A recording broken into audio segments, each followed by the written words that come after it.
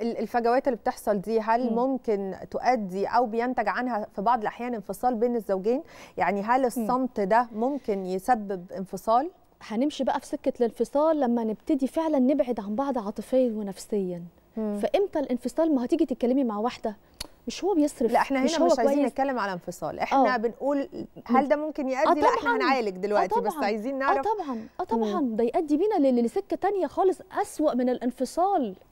عدم الاحترام. والكراهية والنفور وإن بقيت أنا حتى ما بقيتش أتمنى المعيشة معاكي.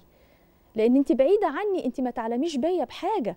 بس دي كمان ليها تأثيرات بعد كده في موضوع إن أنا مش بس الانفصال. تيجي زوجة تقول لك أنا مش مخليني محتاجة حاجة بس أنا محتاجة كل حاجة. بس أنا ناقصني حاجات كتير. إيه اللي أنا إيه اللي ناقصك؟ كلمة حلوة يا هدى. احتضان نفسي يا هدى. إن أنا أتسمع إن أنا أتشاف إن أنا أتحس.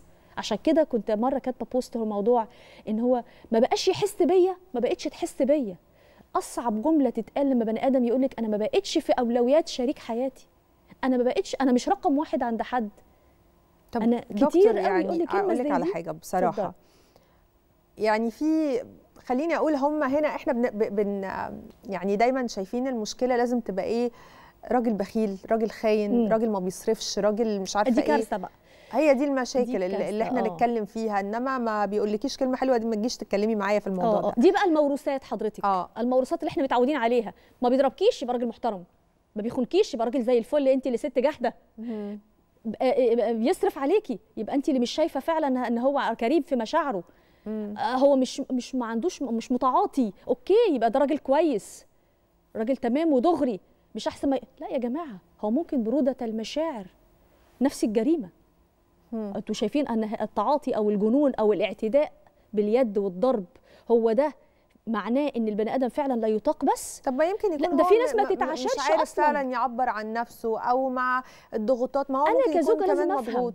ما هو أنا كزوجة مم. لازم أفهم. هل اللي بيحصل من الرجل ده التغيرات النفسية اللي بتحصل له نتيجة ظروف فعلا؟ مم. ولا دي طبيعته؟ لو دي طبيعته بقى ده اختياري. محدش ضربني على إيدي إني أروح أتجوز. فأنا مش هغير في ال system. أنا ممكن أعدل في ال system. بطريقتي أنا كزوجة لأن في أزواج بيبهتوا على بعض. مم. محاولة الإصلاح وإن أنا أكسر الحاجز الخرس ما بيني وما بينه لازم أفهم هل هو فعلا راجل ممكن يكون راجل قليل الكلام عنده عدم قدرة على التعبير. أبتدي أشير أنا كزوجة ألفت نظره لأن لما بقعد مع واحدة تقولي لا ما أنا مش مش هفضل أقول له على كل حاجة أنا قلت أنا ما قلتش بس أنا مش هقدر ألمح له. يعني ليه مش هتقدري تلمحي؟ ما تقولي له أنا محتاجة الكلمة الحلوة الفلانية في التوقيت الفلاني. انت بقالك كتير ما جبتليش هدية. مش ملاحظ بقالك كتير ما قلتليش بحبك؟ مش ملاحظ بقالك كتير ما بتقوليش وحشتيني؟ مش ملاحظ إن أنت بقيت في شغلك ما بقتش ترن عليا زي ما إحنا كنا مخطوبين تفضل تتصل بيا وتهتم؟ بطلنا اهتمام ليه. فتعالى نكسر الروتين. طب أنا أدي ملاحظاتي. أنا برضو شريك الحياة لازم يبقى ليه وجهة نظر ولازم يبقى ليه رأي. أنا شايف إن إحنا بعيد عن بعض يا حبيبتي. أنا شايف إن انت ما بقيتيش تحكي لي وتفضفضي لي. الست يوم ما تسكت خاف منها. مم. الست يوم ما تاخد بعضها وتقعد في الأوضة وتبقى ساكتة وصامتة اقلق اقلق لأن هنا بدأ يبقى في جدار ما بينك وما بينها ده ممكن يبقى في خطة أصلا بتتعمل حتة إن هي عايزة أضايقه هغدر بيه أنا هو بيهملني جدا فأنا ههمله الفترة اللي جاية. أفكار يا دكتور خلينا كده. فاهماني؟ بس أنا إمتى أبقى كويس؟ لما مراتي تيجي تنكشني تتخانق معايا تتكلم معايا تعالى عايزين نتكلم تعالى أنت مزعلني أنت فين؟ أنا قلقانة عليك أنت ما بتسألش فيا. هو ده الحوار اذا في حياة. موت يعني انخفاض الحديث ورصيد التفاهم ورصيد الحوار منتهي. اعرف إن أنت كده في مشكلة. تعال ادرسها. افرزها اتكلم معاها اتكلموا مع بعض. قبل ما يصل الموضوع لورا وساعتها ما نعرفش نلحق الدنيا. وده تأثيره على أولادنا مش صح.